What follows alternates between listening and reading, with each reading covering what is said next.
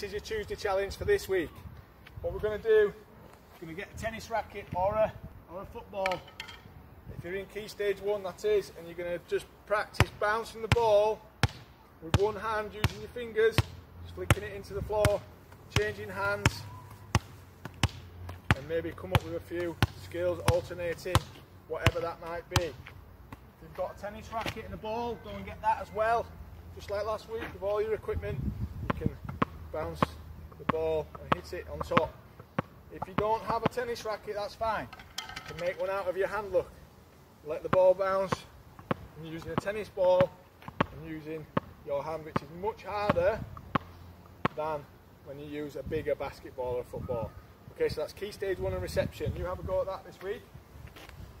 If you're in key stage two, we're going to try this. We're going to try and spin the ball on our finger. See how long you can do it for. Maybe five seconds I think I can do it for. Here we go. Need to try and make it even better by spinning it as you as you spin. Okay, tough challenge. Even harder again. Not with a tennis ball obviously, but a rugby ball if you've got one of them.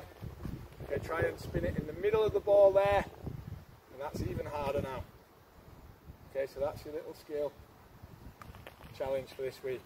Okay, off you go.